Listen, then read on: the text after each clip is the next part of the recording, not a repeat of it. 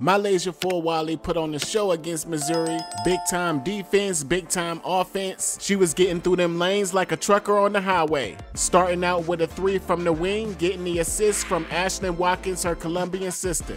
My girl Downhill Fulwiley scored zero points in the last game against Missouri, so you know she was coming out on a mission in this game. And look at this double screen she working out with Feagin. Bag alert going crazy. How you gonna guard that? Behind the back, step back, money time. Now where she been impressing me, and I'm sure Coach Dawn Staley as well, is on that defensive end. Got the steal.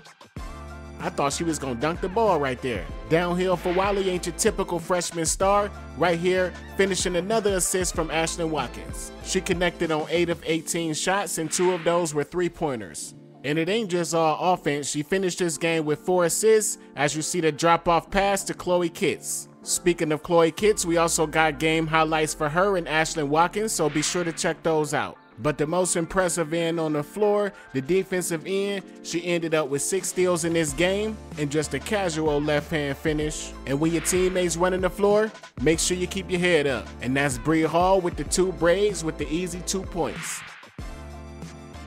And this next one, I'm like, I can't believe she even tried that in game. Now, to be fair, I seen her do that this year, but not in that kind of space and contact. You know how they used to say it ain't nothing but space and opportunity. Well, it was very little space and no opportunity, but she took it and got the foul.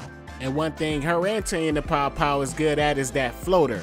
I don't know if that's something Dawn Staley got them working on, but that flow game is crazy between they point guards. To my young ball handlers, please don't get baited into dumb steals like this cross that ball over so that don't happen. And this game was pretty much a blowout, so I think she just trying shit out at this point. But that's MiLaysia downhill Fulwiley versus Missouri. I'm Els the Truth for PRM. Talk to you on the next one.